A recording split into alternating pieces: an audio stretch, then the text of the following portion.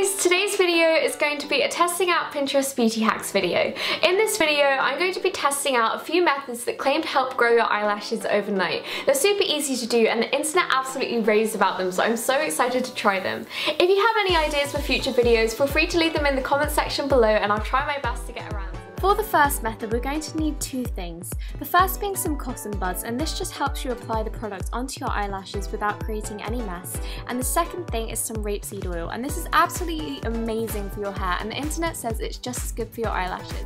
So I started by pouring some out into the lid, and after I got some in there, I just took my cotton bud and swirled it around in the lid until I got a little drip on the end. When I got the little drip on the end, I applied it straight to my eyelashes, and I started along the lash line because this is where most of the oils absorbed. Then I like to just go over every single eyelash and it's really important to do this and I spend about one to two minutes on this because it helps ensure that the eyelashes grow and it also makes them soft and look really nice.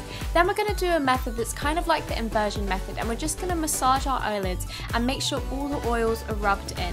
I like to do this for about three to five minutes and then every two to three hours after this I like to massage it again and I normally do it for about two minutes. It doesn't feel painful or anything because there is still some oil on the eyelashes so it isn't dry. For method 2 we're also going to need two things. The first being some cotton buds and I think this is absolutely essential because this is one that's really hard to apply and the second thing being some Vaseline and Vaseline is meant to be absolutely amazing for eyelash growth. It's meant to strengthen it, it's meant to protect it, soften it, help it grow everything but you do need the tiniest amount of this because if you apply too much, I will show you in a second, it just goes so wrong. And you just want to massage this a tiny bit but then you can just leave it overnight. The reason I use a cotton bud instead of using my fingers is because when I used my finger originally, I was doing just the normal amount that you would use for lip balm and I put it onto my eyelashes and it picked up so much and it was so painful and it just stuck my eyelashes up and was really hard to get out. So this is what it looks like before and this is what my eyelashes look like after and it doesn't look like there is much of a difference but the blonde hairs on the end really grew a lot so I decided to add a coat of mascara to show you the difference and I really recommend these methods.